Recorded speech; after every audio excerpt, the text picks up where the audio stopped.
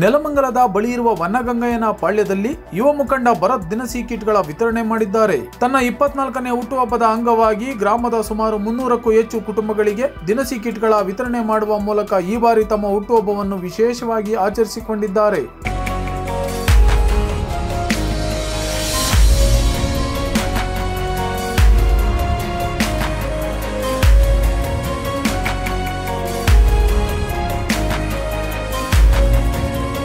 ಶಾಸಕ doctor K Srinivasa Murthy ಅವರ ಸಮ್ಮುಖದಲ್ಲಿ ಕಿಟ್ಗಳ ವಿತರಣೆ ಮಾಡಲಾಗಿದ್ದು, ಯುವ ಮುಖಂಡ ಭರತ್ ಮಾತನಾಡಿ, ಪ್ರತಿ ವರ್ಷ ನನ್ನ ಹುಟ್ಟುಹಬ್ಬವನ್ನು ವಿಶೇಷವಾಗಿ ಹಾಗೂ ವಿಜೃಂಭಣೆಯಿಂದ ಆಚರಿಸಿಕೊಳ್ಳಲಾಗ್ತಿತ್ತು.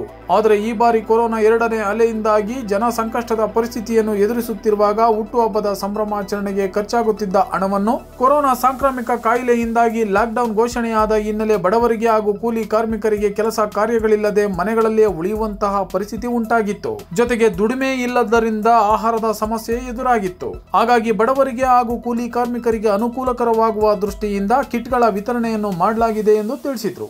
ಇಪ್ಪತ್ನಾಲ್ಕನೇ ವರ್ಷದ ಹುಟ್ಟುಹಬ್ಬ. ನನ್ನ ಕೈಲಾದ ಸಹಾಯ ಮಾಡಬೇಕು ಅಂತ ಅಂದ್ಬಿಟ್ಟು ನಾನು ಒಂದು ಐನೂರು ಕಿಟ್ನ ಬಡವರಿಗೆ ದಾನ ಮಾಡ್ತಾ ಇದ್ದೀನಿ ನಮ್ಮ ಹಳ್ಳಿಗಳಲ್ಲಿ ಹತ್ತು ಹಳ್ಳಿಗಳಲ್ಲೂ ನಮ್ಮ ಕೈಲಾದಷ್ಟು ಯಾರೋ ಊಟಕ್ಕಿಲ್ದವರು ಅವ್ರಿಗೆ, ಯಾರಿಗೂ ನಮ್ಮ ಕೈಲಾದಷ್ಟು ಹೆಲ್ಪ್ ಮಾಡಬೇಕು ಅಂತ ಅಂದ್ಬಿಟ್ಟು ಮಾಡಿದ್ವಿ ನಮ್ಮ ನಿರ್ಮಲ ತಾಲೂಕಿನ M L A Srinivasa Murthy ಅವರು ಬಂದಿದ್ರು.